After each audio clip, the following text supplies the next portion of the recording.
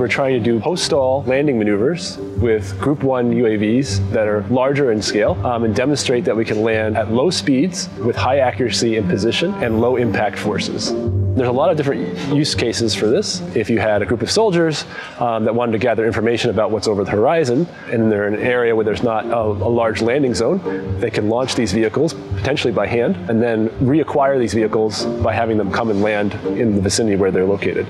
So it's not a one-time use. The other application would be able to transport medical supplies or other sort of cargo on board the aircraft.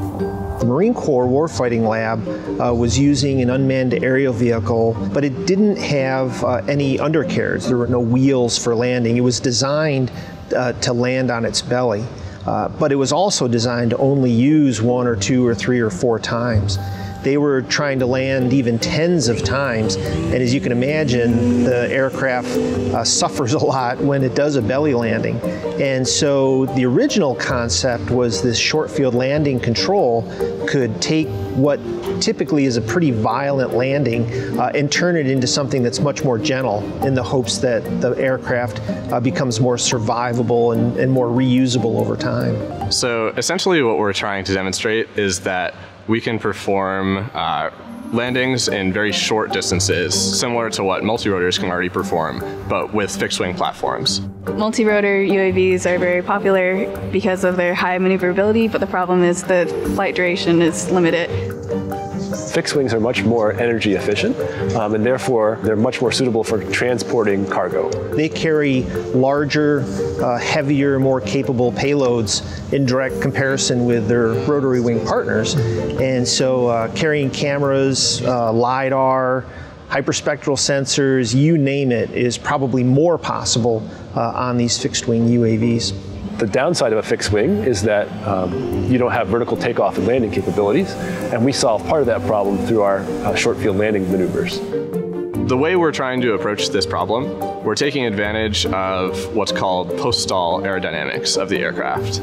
Stalling is a phenomenon that fixed-wing aircrafts uh, encounter when they exceed what's called a certain angle of attack. An angle of attack is the difference between the angle that the plane is pitched versus the angle of the oncoming airflow. Conventional aircraft tend not to exceed an angle of attack of about 15 degrees, but during our maneuvers, we get up to angles of attack of, say, 60 degrees.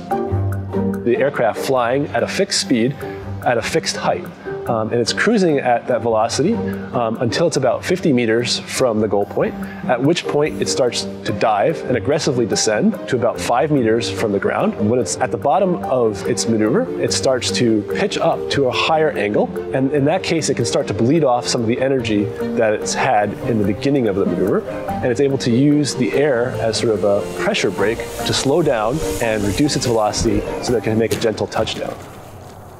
What's really great about this project is that we're taking a very principled approach using first principles physics model of the aircraft and using really robust control theory to attack the problem.